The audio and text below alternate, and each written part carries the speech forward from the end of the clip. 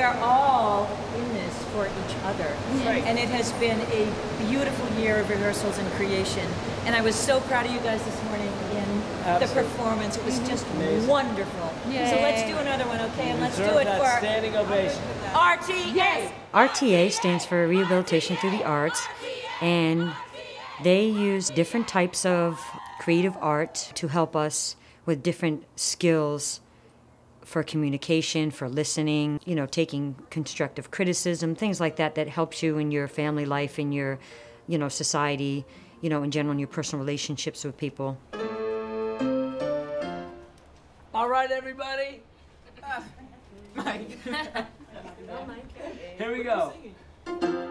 We started out with a writing exercise. Tell us a story about something that happened in your life. I'll never forget that story. She once told me. that kind of made an impact on you. And people came up with all kinds of stories. He was always there, the homeless man. Then they came up with the idea that let's put all of these stories to music. Let's make songs out of them. And it all gave birth to Amazing Grace. It was it's a it was a wonderful experience, a great journey. I don't know who got this brainstorm idea to open the play a cappella with me. Because I'd be the first thing the audience saw. I have self esteem issues. I'm real bubbly, A type personality, but deep down inside, I really have a lot of self esteem issues. And um, part of my personality is my protection.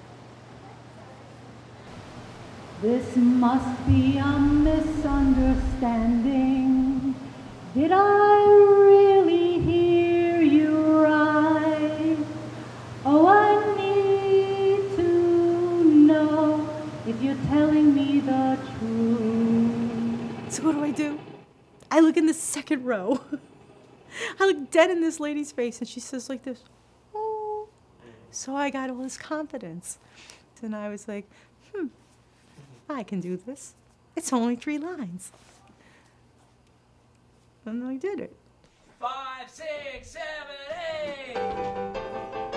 I was six years old and my sister Grace was eight. Most of the people came in saying, I don't sing, I can't sing. They sounded amazing together. This must be a misunderstanding. Did I really hear you right? Well, I still don't want to do it, even though I already did it. This is how parents feel when. Woo! Hey, take two. This is how children feel when their parents chastise them. The only reason I did it was because I was trying to show everybody that we sometimes have to do things that we don't like because that's part of a, a greater good, which is the, the play that we're doing. And life is like that too. Must be a misunderstanding. No! I can't stay here! When you do the writings, for example, it lets you see people can relate or share. They don't have to have experiences that are similar. The writings aren't like exactly, you know, bullseye what happened to me either. They're just an, an avenue, they're a vehicle to vent. I remember looking at Faith and seeing my estranged daughter.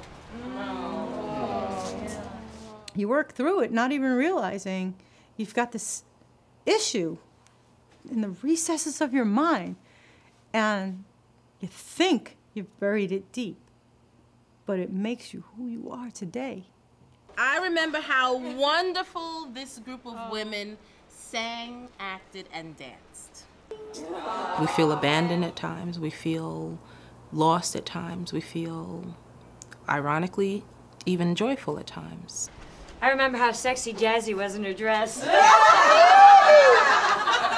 I remember the day we received our costumes. We felt so alive. Skinny jeans, scarves, oh boy. It's all a part of the journey. But that journey makes us who we become. I didn't start out as the person that I am today. When I came to prison, I was a completely different person. I've grown a lot here. Um, and RTA is responsible for some of that growth.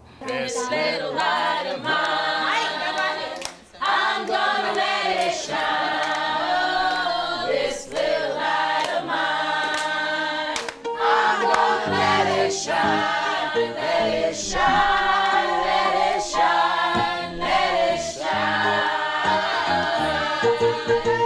Many people inside this program, I've seen that it's totally brought out a different side of their character. It's given them extreme confidence, it's helped people overcome fears.